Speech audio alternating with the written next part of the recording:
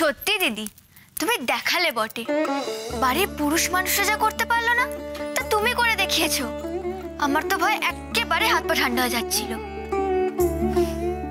জানো, বাড়ির সবাই তোমার প্রশংসায় পঞ্চমুখ হয়ে রয়েছে। কিন্তু এই পেতনিটা, ও একাই জ্বলে পুড়ে মরছে। যেন মঙ্গল টাকা, সবকিছু ডাকাতি করে নিয়ে গেলে তবেই ও সব থেকে বেশি খুশি হতো। আমার প্রশংসা করে কি হবে? আমি তো আর একা এত কিছু করিনি। কুন্দ, ডগরু, লেঠেলরা, তারা সবাই তো আমার সাহায্য করেছে। আর তুইও তো আমার কম সাহায্য করিসনি? আমাদের তো সাহসী হতো না ডাকাতদের মুখোমুখি হওয়ার। এই যে এখন সবাই এত হাসছে, তখন কেউ হাসতে পারতো? একেবারে সর্বশান্ত হয়ে যেতে হতো। তুই বুদ্ধিটা বার করলে?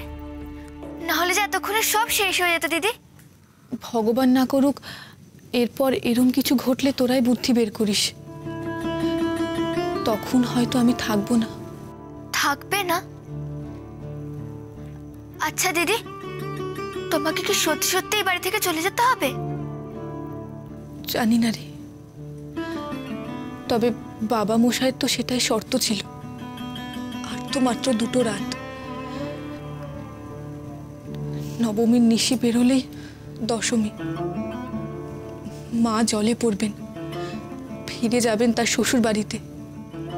আমাকেও ফিরে যেতে হবে আমার বাপের বাড়িতে।